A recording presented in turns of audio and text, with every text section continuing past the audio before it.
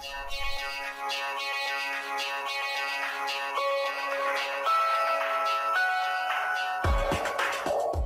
বাংলাদেশি নায়করাজ রাজ্জাক আর নেই